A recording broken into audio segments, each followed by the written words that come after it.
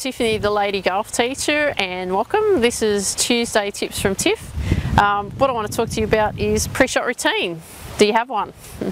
um, the reason I'm asking you that is because people that are out playing golf, just you know what I've seen, you know the the average club golfer, they they tend to just walk up to the ball, maybe line it up, then putt and like pray to God that the ball's going in the hole or getting close to the hole. And their head's scrambled, you know, they could be thinking about their stroke, they could not, not even be focusing on their golf, they might be thinking of something else that's been going on in their life or, you know, what they're going to do in, on the next uh, green or what they're going to do on the next tee shot or, you know, their, their focus may not be here. And the reason that you want a pre-shot routine is you want to zone in on what you're doing. Now I really stress that zone in on what you're doing. Alright, so what I'm going to do is I'm just going to show you a pre-shot routine and I actually got this routine that I've used in my own golfing career um, from Karrie Webb. So Karrie, if you're ever watching, I'm a big fan of yours. Um, I developed my routine from yours because I really liked what you did. So I'm just going to share with everyone what uh, I mean by pre-shot routine. Okay, so got the hole down there and I have my ball set okay? Now the first thing I want to make sure that I do that I've marked my ball and then I want to line it up okay? So I'll just line my ball up to where I want the ball to go. Alright so I'm just going to aim it just slightly left of this hole and then I'm going to walk back and stand behind the line just to make sure I've got my line right. So sorry I've got my back to you. Now so the first thing I've done is I've lined my ball up.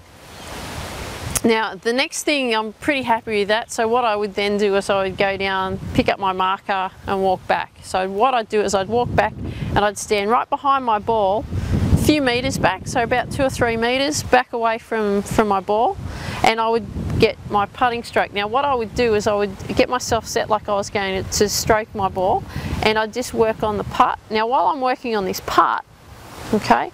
I'm actually looking down the line of my uh, ball in where I want the ball to go. All right. So when I'm confident when I'm standing over this way and I'm looking down my line I've gone yep I'm confident that I've done the work from behind. I've lined up the ball. I've done my practice stroke.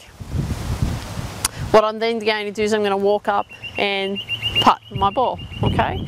So just so I've just done my practice putting stroke now I'm going to walk up and get my putter set. Okay, feet set. Take a bow. Okay, and then I'm just going to do the stroke. Alright, okay. So the length of the stroke, that was pretty good. What happened there though, it was to the ball went to the right of the hole. So the ball's turning a little bit from left to right, so it's telling me that I've got to aim a little bit more to the left.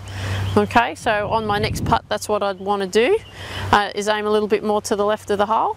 Um, and then I'd repeat that again. So what I'm just going to go through the process again for you, but I'm going to talk you through it as I'm doing it, so I'm not going to stop. Okay, so first thing I'm going to do is line up the ball. So I'm going to line this ball up. Okay, so I'll just aim it a bit more left than what I did before. I'm going to walk back and check my line. Okay, so I'm just walking away so you can actually see that I've lined my ball up. Okay, then I'm going to do practice putt. Okay, and I'm going to look down my line to make sure my line's right.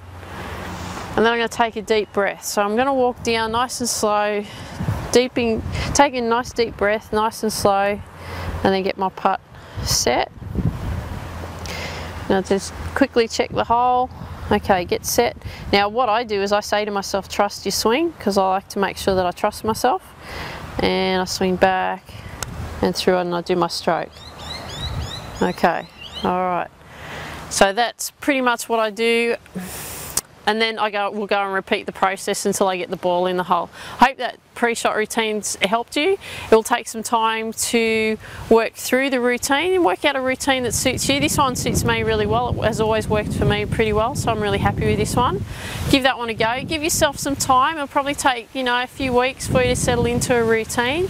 But if you can get a routine happening, that means that you can start getting focused on what you're actually doing and then your results are actually going to be better. Hope you enjoyed that tip for this week.